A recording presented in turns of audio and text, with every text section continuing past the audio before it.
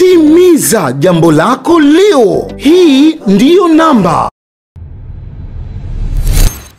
Ya, asante sana Mheshimiwa Mwenyekiti, na mimi naungana na wabunge wenzangu kuchangia kwenye wizara hii ya elimu. Mheshimiwa Mwenyekiti, kwanza namshukuru Mheshimiwa Rais, Mheshimiwa Waziri wa Elimu na timu yake nzima kwenye marekebisho makubwa aliyofanya kwenye mitaala ya elimu kwa nchi yetu. Mheshimiwa Mwenyekiti, Mgogoro wetu mkubwa ulikuwa ni mtaala mzima wa elimu ambao ulikuwa unaleta shida sana, kwamba mtoto aliyesoma ndo anakuwa mgogoro zaidi na tabu ngumu zaidi kwa mzazi kuliko yule ambaye hajasoma. Mzazi anateseka, serikali inateseka, na mpaka mwisho hatupati ufumbuzi. Lakini kwa mtaala huu alioleta Mheshimiwa Waziri, kama hawakuchakachua wenzetu wasomi unaweza ukatusaidia kutufikisha mahala pazuri zaidi. Mheshimiwa Mwenyekiti, naungana sana na Mheshimiwa Shigongo alivyosema, ni kweli kabisa. Elimu ya sasa hivi, Mheshimiwa Mwenyekiti na Mheshimiwa Waziri, ilikuwa kama gereza, hauna uhuru nayo wewe mzazi. Sasa hivi kwa mtaala huu tunakuomba sana Mheshimiwa Waziri, katutofautishie sisi wa vijijini na wale wa mjini. Sisi kijijini, Mheshimiwa Mwenyekiti na Mheshimiwa Waziri, watoto wetu sisi ni rasilimali ya kuzalisha mali, ndio baadaye anaanza shule. Nyie huku wa kwenu ni watoto wenye gharama, kwa hiyo lazima tutofautishane hapo. Mheshimiwa Mwenyekiti, sisi wa kwetu akiwa na miaka minne anaanza shughuli za kilimo pale nyumbani na kuchunga mbuzi anang'oa mche, anang'oa mbegu za mpunga, anakusaidia kupanda. Kwa hiyo msije tena mkaleta hapo mkasema ah, si mambo ya human right, watoto wanateseka. Hapana, Mheshimiwa Mwenyekiti, kwa sababu hawa watoto ndio wanaolima huu mchele mnaolia kila siku kwamba umepanda bei. Nani mzee anayeweza kuinama kutwa nzima kwenye tope kama sio watoto? Kwa hiyo Mheshimiwa Mwenyekiti na Mheshimiwa Waziri, tunaomba sana kwa kuwa umefungua kwamba mzazi akiwa na shida kesho, kwamba ana shida na kazi yake nyumbani, aje aombe ruhusa shuleni kwamba naomba mwanangu siku tatu tukafanya naye kazi, ili baadaye atakuja shuleni Jumatatu. Itatusaidia sana Mheshimiwa Mwenyekiti, kwa ukubwa huu ambao umefungua. Lakini vile vile Mheshimiwa Mwenyekiti, elimu hii lazima iwe wazi na iwe nyepesi, hasa darasa la kwanza, afundishwe mtoto kitu chenye faida. Maanake unaponiambia mimi nikajitegemee, lazima kiwepo kitu kinachonivutia, kwamba unaniambia mimi nilime mahindi, lazima unieleze kwamba punje fulani, mite fulani, ukimwagilia ndoo moja yenye gharama hii utapata shilingi hii, ili huyu mtoto awe na interest ya kwenda kufanya ile kazi akiwa bado mdogo. Itatusaidia Mheshimiwa Mwenyekiti, tumepiga kelele sana muda mrefu. Hata mimi nikifika darasa la nne, Mheshimiwa Mwenyekiti, Mheshimiwa Waziri, nikawa mtolo, lakini ukanifuata ukanikuta kwenye mahindi, nalima mahindi, ni kosa? Litakuwa kosa gani?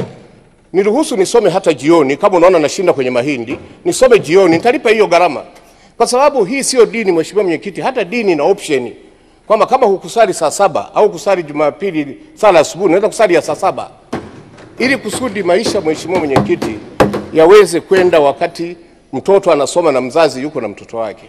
Mheshimiwa Mwenyekiti, swala hili la VETA, VETA, Mheshimiwa Waziri, waongezee mitala. Tunapoongea hapa, VETA hana mtala wa simu, hana mtala hata wa televisheni, hana mtala wa pikipiki. Leo kuna market kubwa sana ya wafanyakazi wa ndani. Mheshimiwa Mwenyekiti, VETA hana mtala wa wafanyakazi wa ndani. Utajiri wa nchi za Asia, Mheshimiwa Mwenyekiti, ni wafanyakazi wa ndani. Nyiwe mnasema mnafundisha hoteli management, kutenga ugali unahitaji kusoma? Haiwezekani Mheshimiwa Mwenyekiti. Lakini mfanyakazi wa ndani leo hii wote ni mashahidi. Ukitafuta mfanyakazi wa ndani unampigia Mheshimiwa Jessica kule Iringa, unamwambia nitafutie kijana kule mlimani, utafikiri unatafuta mbuzi wa mizimu. Yaani ni kazi kweli, ni soko kubwa sana. Tulikuwa wote pamoja kwenye mtaro wa elimu, huyo jamaa kutoka e, alivyosema kwamba utajiri wa Philippines ni wafanyakazi wa ndani ambao wanakwenda nchi za nje. Tunakuomba Mheshimiwa Waziri wa Elimu, weka wafanyakazi wa ndani kwenye mitaala yetu, itatusaidia sana. Mheshimiwa Mwenyekiti, tutakwenda kwenye suala moja ambayo najua ni gumu sana. Mheshimiwa Mwenyekiti, tumeruhusu msichana akipata mimba aprosesi na shule, lakini wanaopata mimba wanaweza kuwa wamebakwa labda asilimia mbili, asilimia tisini na nane walielewana, lakini sheria yetu inasema na huyo atatumikia kifungo cha miaka 30.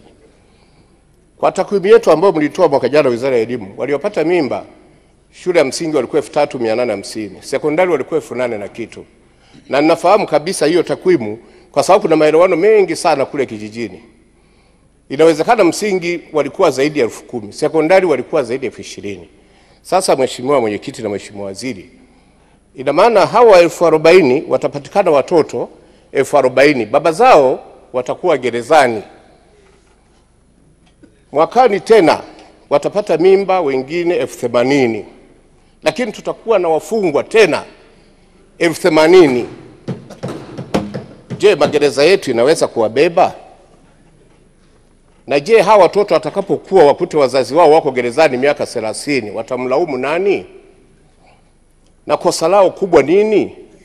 Mheshimiwa Mwenyekiti, ni swali gumu, ni kazi yetu sisi wabunge, maanake tunaamka asubuhi. Mheshimiwa Mwenyekiti, ukiamka nyumbani watu watatu unakuta wana mtoto kwamba baba yake alifungwa au alitoroka, na mimi ni mtoto wa shule, nimeruhusiwa kwenda shule, lakini nanyanyaswa pale nyumbani. Mnafahamu wote makabila yetu, Mheshimiwa Mwenyekiti, au wenzetu mnatoka Uingereza, makabila yetu mnayafahamu. Msichana anapozalia nyumbani hapendwi na kaka, kwa sababu kaka walitarajia kupata ng'ombe 40 na wao wale. Mzee naye alitarajia kukaa high table, naye hampendi. Sasa huyu msichana anabaki na mateso, lakini na mme naye ametoroka.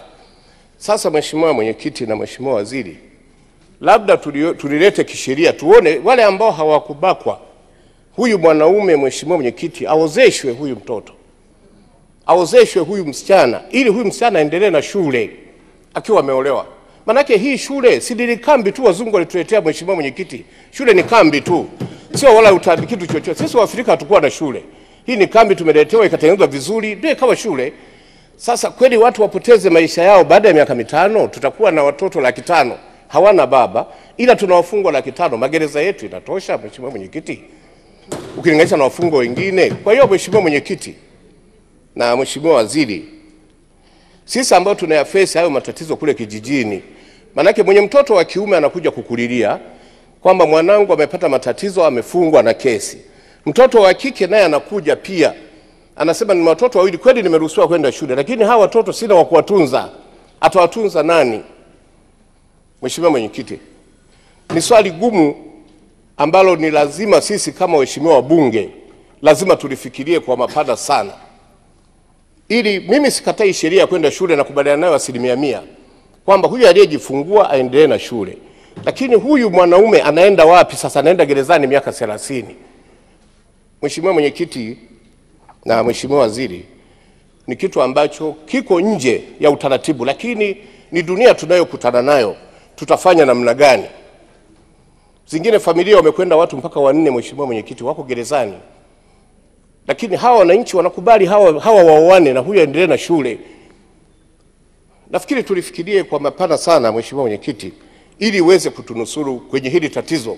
Tunaweza kuliona leo ni janga dogo, lakini sisi kule vijijini, ukiamka asubuhi ni mgogoro kweli.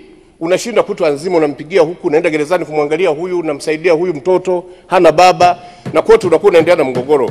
Kwa hiyo nawashukuru sana Mheshimiwa Waziri, kama utaweza kulifikiria kwa mapana sana.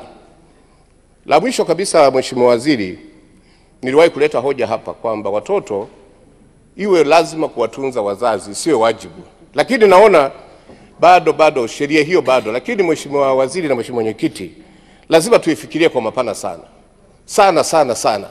Mimi nimefanya kazi kubwa na mtoto wangu kutoka akiwa nursery school mpaka form 6.